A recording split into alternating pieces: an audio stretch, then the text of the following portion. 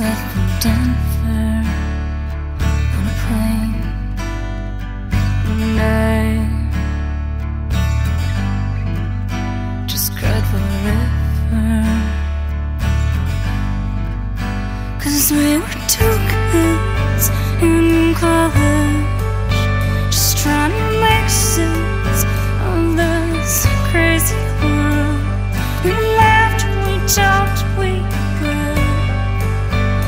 Until questions became too big. We fell in love, got married, our empty gifts.